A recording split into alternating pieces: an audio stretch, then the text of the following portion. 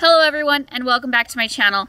We are coming up on the November general election and today in this video we're going to be looking at one race in particular, the Texas Senate District which covers El Paso County, Hudspeth County, Jeff Davis County, Culberson County, and Presidio County. We're going to be talking about several topics in this video today, including healthcare, the response to COVID-19, immigration, and gun rights, just to name a few. Now this is a very long video, so I'm actually going to be including a timestamp down below so that you can find each topic that we're going to be discussing. Now I'm going to provide information on each candidate to the best of my ability. Now if a candidate or someone else reaches out to me to make a correction or further elaborate on something that I said, then I will provide that information down below in the description, so be sure to check there for updates on this. I gathered this information from candidates' Facebook pages, websites, questionnaires, as well as interviews for TV and newspaper. Our current Texas state senator is actually retiring, so this is the first time that either of these two candidates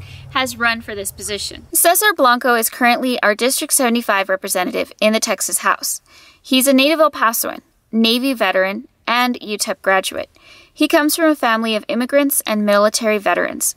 For his record of fighting for veterans' education opportunities and border communities, Texas Monthly named him one of the best legislators in Texas. He was elected to the Texas House in 2014, where he has continued to serve as a representative. Bethany Hatch describes herself as a third generation El Pasoan, Texas Tech graduate, small business owner, and follower of Christ. She moved back to El Paso five years ago to start her business, a pet boarding facility in the Northeast, is a member of good standing of Coronados Baptist Church, and is on the board of the Cardwell Foundation. Let's look at Blanco's response to COVID. He's been very vocal in supporting medical professionals who are caring for our community. He stays positive by thanking healthcare workers, essential employees like school cafeteria workers, grocery store workers, and farmers.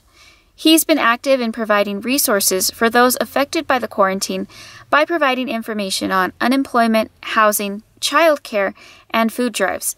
He has even been volunteering with food banks to provide meals to those that are in need. He provides updated information on COVID cases, information on symptoms for COVID, how to get help, and information on hospitals and ventilators. He provides the community with information on how money is being used in El Paso to expand testing and even discuss how minorities are affected during these times.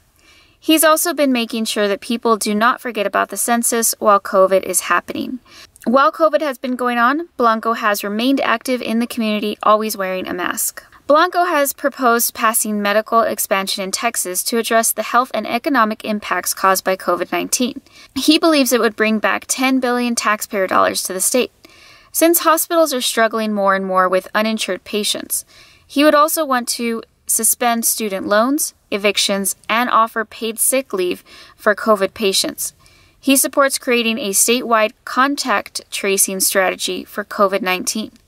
He hopes to expand the use of technology in a post COVID world where government bodies use video conferencing as a way to be more transparent and expand it for the public to have a safe and easy way to participate in open meetings. To address the economic crisis from COVID 19, Blanco is in favor of using Texas Rainy Day Fund, which he believes was created for instances just like this, and this could prevent the state from cutting essential services and programs. Blanco partnered with several donors to provide school supplies to children in need since COVID quarantine has caused for children to learn at home virtually. Hatch has been strongly against all COVID mandates and regulations since the beginning. Here you can see her standing with a homemade poster with the hashtag COVIDHoax2020. She has even been actively critical of her fellow party leader, Governor Greg Abbott, the Republican governor of Texas. Abbott has been criticized by Democrats for not doing enough for COVID, well, she believes that he's actually made too many regulations. She is very much against any mask requirements, going on to call it an absolutely worthless mandate and does nothing but provide our local officials with a false sense of accomplishment. She believes it is against a person's constitutional rights to be forced to wear a mask. The local El Paso Young Republicans have encouraged wearing masks, and Hatch was unhappy with these sentiments. When social distancing was not being followed, Hatch made it clear that she believed the government would not have trouble enforcing regulations if they stopped making regulations altogether. The quarantine was enacted so that hospitals would not be overwhelmed and overcapacity, allowing for beds to be available as needed. Unfortunately, Hatch did not share this understanding. She believes that, quote, the shutdown was to slow the spread so that the hospitals could prep. I do think it's unfortunate when a candidate does not make an effort to understand the medical part of COVID, especially when quite a lot of our healthcare relies on elected officials and their decisions that revolve around access to healthcare. Even though she posed with a COVID conspiracy poster, Hatch has been a supporter of hydroxychloroquine for treating COVID patients. She promoted Dr. Stella Immanuel, who believes that alien DNA is used in medical treatments, vaccines will stop people from being religious, the US government is run by lizard people, and that endometriosis is caused by sex with demons. Hatch has been supportive of schools reopening and, of course, ending shutdowns all across the state for restaurants, bars, and anything else that has been affected. She's even encouraged people to not follow any quarantine rules if they so desire. When businesses were told to require people to wear masks, she stated that as a business owner herself, she would not follow this mandate from city and state. She was very much against contact tracing for COVID. It was interesting that she posted about losing a friend, Herman Cain, yet no mention of the fact that he did pass away from COVID 19. She is against using taxpayer money to open Wi Fi centers for children that have been affected by the coronavirus shutdown. Our discussion on COVID will be moving on to talking about mental health, and this now deleted post is a good transition for that. El Paso is using an emergency line to send COVID updates to residents. Due to social distancing and the stress that quarantine brought with job loss, increased domestic violence, and many other troubling things, we did see an increase in mental illness. This message shows information about getting help for mental health. Dealing with challenging emotions or situations in these times, reach out. You are not alone and this was Hatch's response to it, calling it a fake mandate emergency alert, quote, saying, Stop abusing the emergency alert system and stop acting as if y'all have the authority to do half of what you've been doing. In my opinion, this came across as a disregard for mental health. This year has been challenging for many people's mental health and it's discouraging to see someone so passionately angry over a message that brings awareness to mental health and encourages people to ask for help. Why would you not want people to have this information? This post was deleted about an hour after it was posted, and this amended statement was put up in its place. The tone was completely different after she received some backlash on the original post but I have a hard time believing she changed her mind so quickly. A few months later, she changed her position on mental health, discussing suicide rates and the effects of social media. But it's difficult to forget her quick reaction to the emergency alert on mental health. Blanco on mental health has been a big supporter of ending the stigma around mental illness, leading efforts to lower prescription drug prices and expand mental health resources to veterans as well as other people in the community. Working with Emergence Health Network to provide treatment to those affected by the August 3rd shooting and stress from COVID. Blanco has also stated that even though mental health is often blamed for mass shootings, research shows that those that suffer from mental health are more likely to be victims. Of course, mental health kind of bleeds into our next topic, which is LGBT rights. Blanco is a supporter of LGBTQ rights. He participated in the Texas House LGBTQ caucus locally. He was vocal about defending State Rep Mary Gonzalez when State Rep Pat Fallon made a speech attacking her for her sexual orientation. Blanco is endorsed by equalitytexas.org. I had not found Hatch to be anti LGBT until a recent law was passed in California. Let me explain this new bill that was passed in California. In California, if a 19 year old boy has consensual sex with a 17 year old girl, the boy is not automatically registered as a sex offender for their relationship with an underage girl. If a 19 year old boy and a 17 year old boy have consensual sex, then the older boy would be automatically registered as a sex offender. Based on this new law, the older partner is now not automatically registered as a sex offender. It's up to the judge based on the situation. creating equal judgment for straight or gay couples. Hatch did not voice an issue with this when it was in regards to a straight couple, and considering that Texas has a similar law, the Romeo and Juliet law, which she has not criticized, it does lead us to believe that her issue here is with LGBT couples. However, since she does state that minors are incapable of giving consent, it does make one wonder if elected, would she try to repeal the Romeo and Juliet law here in Texas. When it comes to healthcare, Hatch falls in line with some extremely misguided groups that don't follow modern science, such as Dr. Immanuel, like I mentioned earlier. Hatch does seem to lean towards being an anti vaxxer, but hasn't said so outright. She has stated that she will not push for any type of mandated vaccines. She's also been endorsed by a group that is anti vaccine. Uh, she has also stated that she wants to fight to end the 10 day rule in Texas, a rule that provides families with the ability to move a family member on life support to another hospital when doctors do not want to continue to provide life support. I will link more information on that topic. While on the topic of health care, let's talk about abortion. Hatch is endorsed by Texas Right to Life, which is an extremist pro life group. This group believes that hormonal birth control pills are a form of abortion. Of course, hormonal birth control pills are not only something that prevent pregnancy and therefore abortion, they also provide some extreme health benefits for many women. And this organization also claims that Planned Parenthood is harvesting organs from babies to implant them into rats and believes that modern vaccines are made using aborted babies, which is why they are against vaccines. Hatch did bring up that she had an issue with COVID patients being transferred to nursing homes after being discharged from the hospital.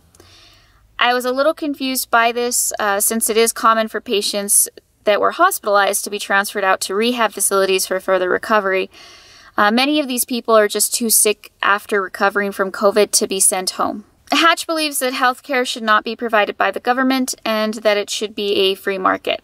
Now, going over to Blanco's stance on healthcare, Blanco wishes to expand Medicaid. He also wants to look into expanding telemedicine to improve access in rural areas and border communities. Blanco has put a lot of work into improvements in the education system, especially regarding teacher pay and access to healthcare. He helped pass a bill that will freeze TRS care premiums for the next two years and ensuring affordable health care for retiring teachers. Blanco has been an ardent supporter of the Paul Foster School of Medicine at Texas Tech in El Paso, saying that the school contributes to the local economy and will improve the physician shortage in West Texas, and giving students an opportunity to apply to a medical school in their hometown. He is actively involved with organizations that aim to improve healthcare in this region. Both candidates want to take action against human trafficking. Hatch was part of an anti human trafficking rally that I believe she helped organize. Blanco authored and passed House Bill 2059 that will focus on fighting human trafficking through the frontline healthcare workers. When it comes to immigration, Blanco is active in supporting immigration reform. He hosts workshops to help immigrants go through the steps of becoming citizens. At these workshops, legal advice is provided as well as translators. He also supports DACA and protecting the Dreamers, and he believes in increased oversight over border security. Hatch believes in increasing border security and believes that this is the responsibility of the federal government, but that the states must act since the federal government is not providing enough. She also believes that the federal government should not be involved in trade between the state government and foreign countries. One of the most horrendous acts of violence locally in recent memory is the August 3rd Walmart shooting. We're going to be looking at what the candidates were doing on the one year anniversary of this tragedy. Blanco attended different memorials around town to honor victims. Hatch was in attendance of a local GOP celebratory event. When it comes to gun rights, Hatch is a strong supporter of the Second Amendment. This is probably one of her strongest campaign issues. She is against red flag laws and any other infringements on the Second Amendment.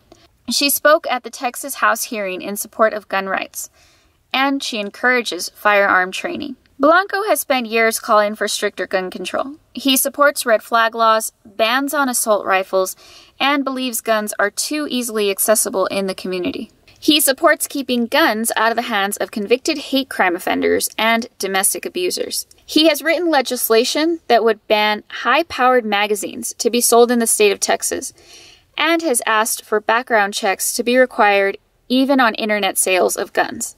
These, of course, have not passed. Blanco believes that Black Lives Matter and believes that reform includes rethinking the role of police, such as banning chokeholds, no knock warrants, and qualified immunity. Blanco was included in with a group that sent a letter to the El Paso Mayor Leeser and City Council to, quote, publicly repudiate the statement forcefully and unequivocally when Police Chief Greg Allen called Black Lives Matter a racial hate group. Blanco was supportive of renaming Robert E. Lee Road to Buffalo Soldier Road in honor of black soldiers. Blanco did participate in local rallies for BLM. Hatch, on the other hand, organized a counter rally at the same time to support the police. Hatch is not a supporter of Black Lives Matter. She fully supports the police and local police chief Greg Allen. She was publicly critical of Commissioner David Stout participating in the memorial march that he described as for the 33 lives that have been lost at the hands of local law enforcement. I will say police brutality is not something common in El Paso, and I'm not sure exactly how these deaths were counted. Um, something interesting to look into. She posted a screenshot of Apple's response to asking, Where are the terrorists? When asked this prompt, Siri directs people to local law enforcement for support. Hatch was not satisfied with this response. Blanco is a former Stinger missile gunner and naval intelligence analyst. He is well known for being a supporter of military and veterans. He was listed in the top 10 best legislators of Texas for his speech on the House floor, where he got both sides to vote for keeping the Hazlewood Act, a law that extends free college tuition for veterans and dependents. Blanco has been outspoken when it comes to Vanessa Guillen and the countless other lives that have been lost at Fort Hood. He plans to file the Vanessa Guillen Act that would address sexual assault in Texas military forces. Here's what he had to say about Vanessa No soldier should fear retaliation and the negative stigma of reporting assault and harassment in the armed forces, Blanco said in a statement. Although Specialist Guillen was in the United States military, Texas can lead with reforms to protect our soldiers in the Texas military to ensure every Texas soldier feels safe reporting sexual assaults committed in the military and offenders are prosecuted to the fullest extent of the law. Hatch is also a strong military and veteran supporter. When it comes to education, Hatch promotes school of choice. She is against standardized testing. When it comes to education, Blanco is very supportive of providing funding to teachers in schools. He co sponsored a bill to gradually increase teacher pay over the next six years, as well as pay for other school employees. He has also worked to make the retirement program and health care for teachers more beneficial. Blanco opposes any school vouchers for private schools as he believes this eliminates public accountability and diverts taxpayer dollars away from public education. He does not support high stakes standardized testing, but believes it should be used just as a diagnostic tool. For voting, Blanco supports mail in voting to protect people from COVID. Hatch does not support mail in voting, only voting in person. Blanco is endorsed by the Texas Democrat Veterans, Greater El Paso Association of Realtors, Latino Victory, EqualityTexas.org, Beto O'Rourke, Joe Moody, Mary Gonzalez, El Paso Sheriff Wiles, and more than a hundred other organizations and individuals. It does bring up the question is Blanco endorsed by Mayor Margo? It would appear so when Mayor Margo sent out a letter where he addresses Blanco as Senator elect. Hatch is endorsed by the Texas Right to Life, Republican Liberty Caucus of Texas, and the Hudspeth County Sheriff. Thank you all so much for watching this video. I hope you got to learn more about the candidates. Now, usually I do like to make it as unbiased as possible, but I think the most important thing is to provide all of the facts, and sometimes those two things are hard to do at the same time. So I hope you enjoyed it. Uh, let me know in the comments down below what you thought of the video, and if you're willing to share, please let us know who you're going to be voting for. And be sure to share this video with family and friends so that they can make informed decisions when going out to vote. And I will see you guys next time. Bye!